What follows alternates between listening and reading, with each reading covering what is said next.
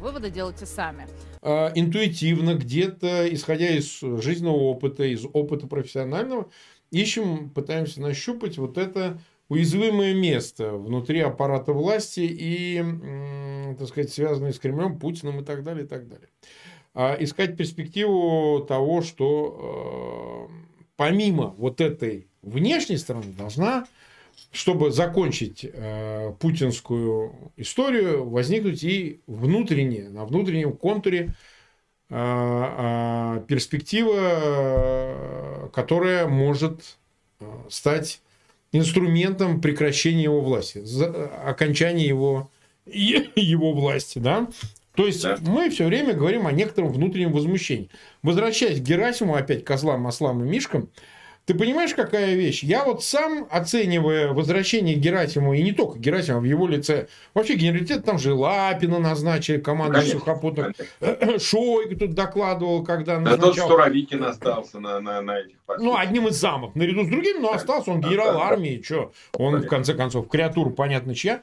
У меня возникло впечатление, что армия как бы брала реванш, аппаратный реванш. В том смысле, что ее так долго унижали. Ну, генералитет, ясно. Не армия как таковая, там само собой. Ну, а да. вот генералитет унижали, унижали, а в какой-то момент ну, стало понятно, ну, а куда ты без нас, дорогой? Куда ну, ты? Да. Как ты?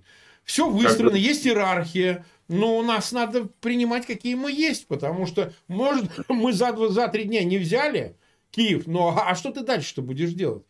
Ты как будешь воевать, э, игнорируя э, сам да, факт законы, того, что... законы войны и закон управления войсками. Да, вот ты считаешь внутри институциональным, так сказать, аппарат власти, аппарат военной, силовой, бюрократии и так далее, а, ищут ли они для себя выхода отдельно от Путина? Скажем так, без Путина. Я знаю, Потому то, что... они уже... Да. Вот я то, что знаю точно, я могу сказать угу. сегодня и всем тем, кто нас слушает, что они уже об этом начали думать. И начали очень-очень осторожно говорить так, чтобы это там не дошло до чьих нужных ушей. Они начали об этом говорить и думать. Я это уже, ну, у меня несколько сигналов на эту тему есть от, от всяких людей. И э, эти сигналы достоверны. Пока они только думают. Почему они пока думают? Они ждут, что будет дальше. Как только сейчас начнется наступление украинское, очередное, украинских вооруженных сил, это их подтолкнет э, к более активным мыслительным процессам, я так сказал. Они mm-hmm. еще пока на что-то надеются. И еще второй момент нехороший, который мы с тобой тысячу раз говорили, люди просто не понимают, на нас ругаются. А кто-то должен прийти к бункеру и сказать, Путин, ты больше э, не у власти. Вот э, нужно формировать раскол элит, под, подталкивать, вернее, создавать условия для раскола элит, давая некоторые части, некоторым из них, в том числе из путинского окружения, как это не цинично звучит, определенные э, возможность выхода, э, выхода из этой ситуации. Мы должны, с одной стороны, дать им возможность выйти, а с другой стороны, подталкивать их санкциями, решительными действиями вооруженных сил, угрозами, э, созданием различных трибуналов, объявлением их там военных преступников и так далее. С одной стороны, ничего другого не придумано, кнут – и пряник. Кнут, пряник, да. пряник. Угу. Кнут и пряник. Ничего другого в мире не придумано. Но пряник должен быть. Не только кнут. Кнутом мы только вызовем э, озлобленность, остервенение, и э, мы сами начнем помогать консолидировать вокруг Путина всех остальных. То, что они думают о жизни без него, уже думают. Уже думают. Прямо вот полный рост думают. Пока еще не действует. Вот это беда. Э, но вот я говорю, кнут и пряник. Вот мы должны сейчас вот эту разумную политику кнута и пряника провести вместе со всей коалицией. Ну, ты читал э, статью наверняка Кубилиса, да? Вот сейчас Андрей да, Кубилис, премьер Литвы, э, он возглавил группу в Европарламенте, так называется, хаб по проблемам России.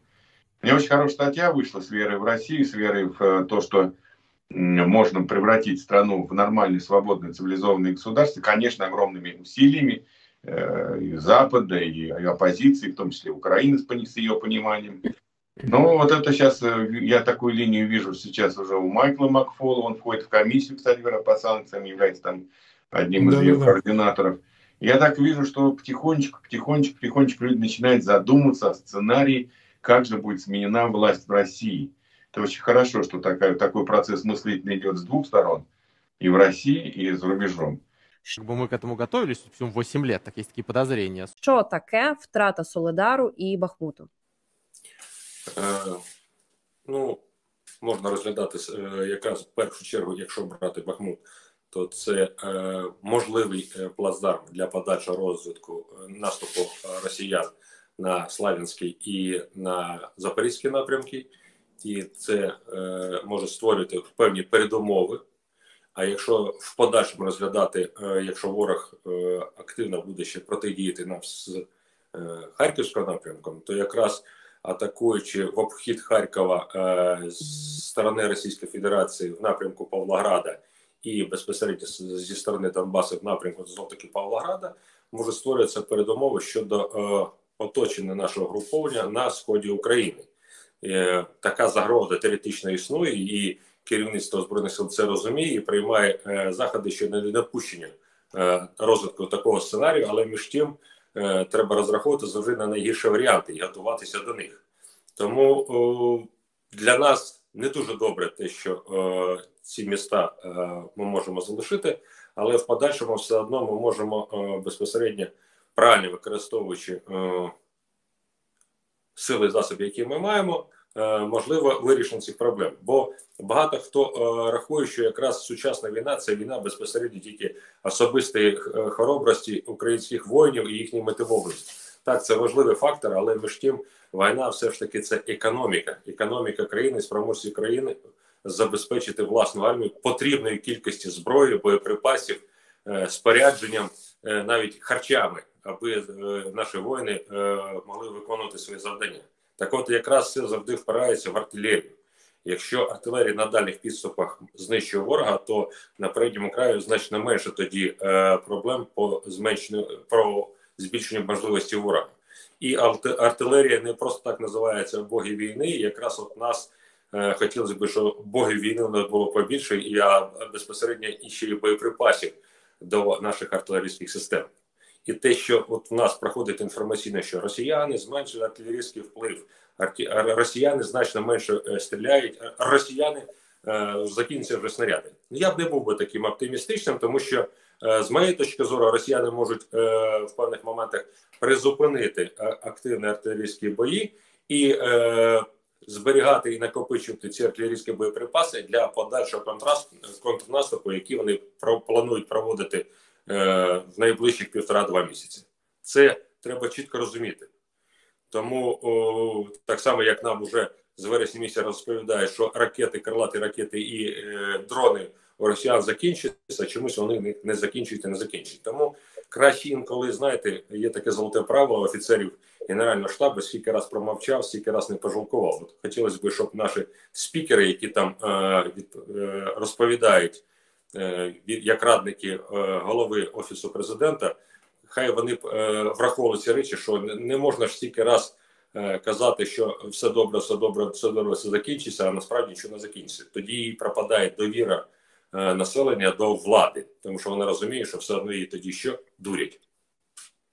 Пане генерале, я завжди підкреслюю, що звісно збройні сили України вони і завдяки нашому головнокомандуючому генералу Валерію Залужному воюють геть інакше. Для нас життя наших військових це найцінніше, але враховуючи ту тактику, яку застосовував ворог на тому ж бахмутському напрямку, і продовжує це безкінечне кидання живої сили, і наскільки я розумію, застосуванням і тієї ж артилерії, яку ви згадуєте, важкого озброєння.